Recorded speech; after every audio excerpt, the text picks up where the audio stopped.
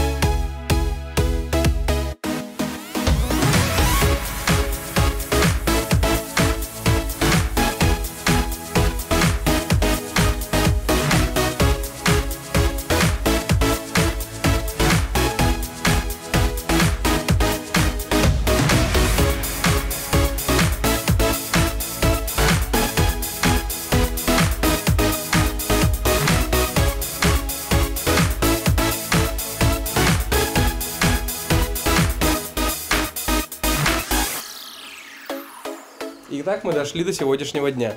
Но дальше, друзья, я хочу строить с вами. Не бойтесь начинать. Вы создаете свой мир, свою вселенную, свои 15 соток счастья. Это кайф. На самом деле это круто. И когда вы дойдете до финиша, вы будете гордиться собой. Вы скажете, блин, я сделал то, что должен был сделать каждый мужчина в своей жизни.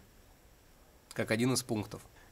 Может, я не прав, может быть, сейчас тщеславие какое-то во мне играет, но я хочу сказать, что я кайфую от этого. И мне очень нравится, что я этим занимаюсь. Болеть своим увлечением – это ли несчастье, ребята? Итак, подытожу, друзья. А, если у вас а, большое желание строить, и вы такой же самозастройщик, как я, не прибегающий к помощи посторонних, я думаю, вы попали по адресу. Я очень рад, что мы с вами познакомились. Буду рад, если вы подпишетесь на канал, поставите палец вверх и колокольчик. Тогда вы будете видеть о всех новых обновлениях на нашем канале. И будем дружить.